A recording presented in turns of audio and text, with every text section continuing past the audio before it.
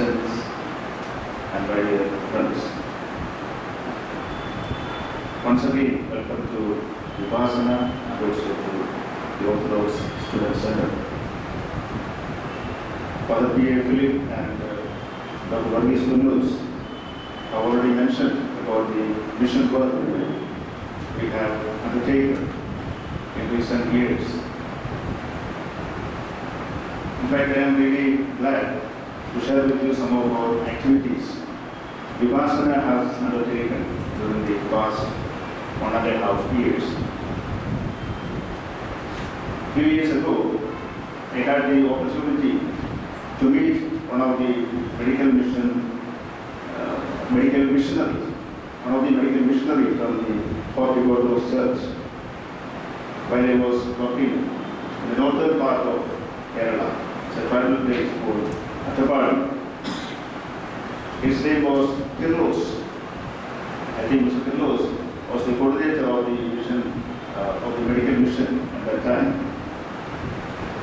And we met twice, once at uh, Karagam, Ash- Karagam Medical uh, Teaching Center, Karagam Hos- Hospital, and also at uh, uh, St. Thomas Ashram uh, in Attapadi. So I took Kirlos to various tribal villages in and around Attapadi, and he participated in the food distribution program of the Orthodox Church. So at that time we had a food distribution program for the tribal children, and we participated in that program. So from, the, from Mr. Kirlos, I came to know that the uh, Coptic Orthodox Church has a vibrant mission in various parts of the world.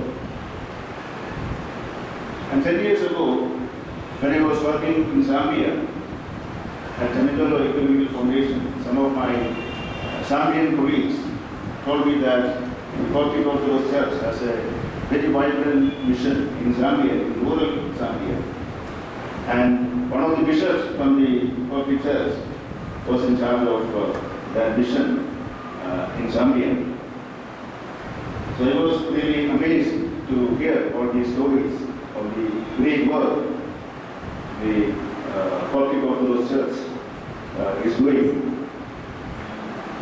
And my responsibility here is to briefly introduce the activities of the Vipassana Emotional Support Center. As Ajahn mentioned, the meaning of the word Vipassana is, very briefly, it is insight. This word came from the Buddhist tradition, and we have borrowed that word from the Buddhist tradition uh, to name this particular program. Father Philip and uh, Varghese Kunuz have already mentioned about the work we are doing as part of Vipassana Emotional Support Center. We know that there are drastic changes happening around us in the name of so-called development. Information technology is changing the world drastically. Communication networks are widening. Recently, there was a report in the newspaper that India has achieved second position in the world in terms of number of cell phone users. Nearly 1 billion people own a cell phone in this country.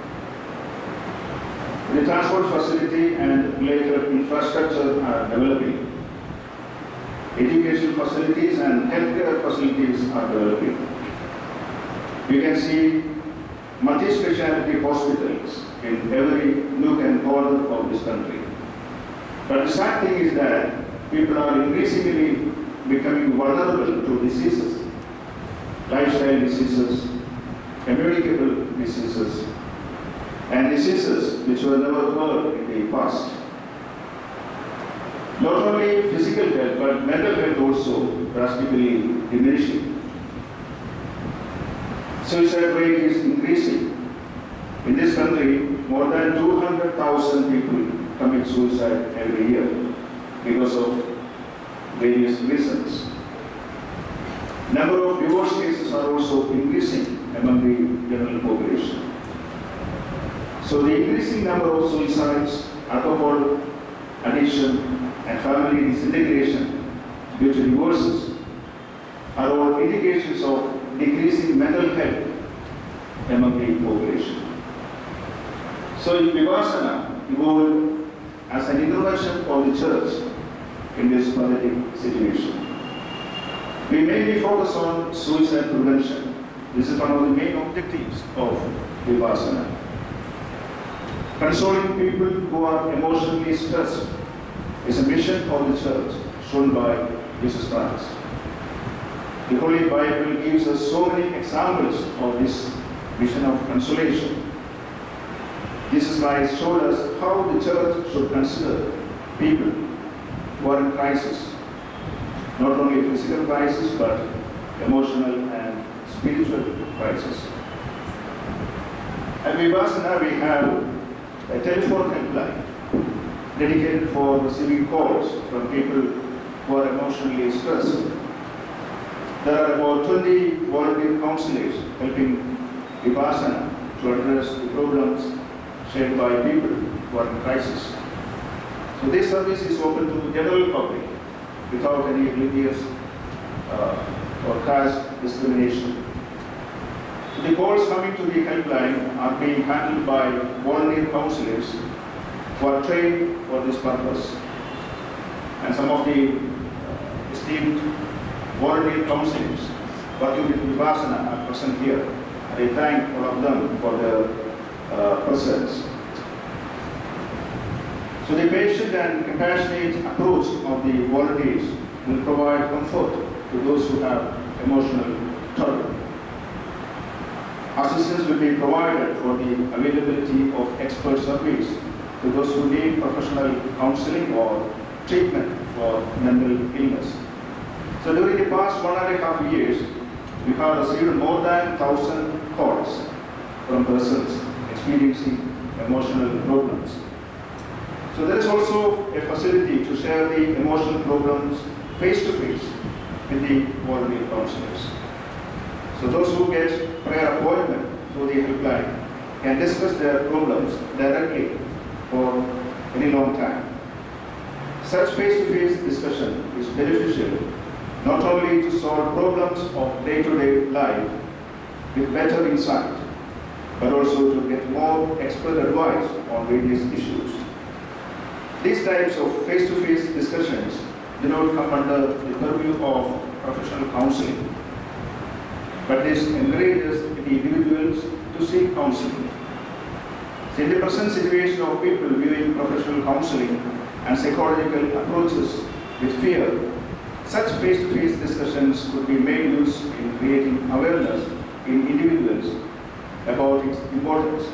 Such interviews also help those, those who require professional counseling to contact suitable experts or organizations. It is combined influence of different factors related to personal, physiological, social, and psychological aspects that lead a person to commit suicide.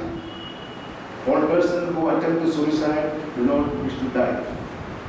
Only when there is a feeling that there is no assistance of any sort to escape from severe mental agony, an individual resorts to kill oneself.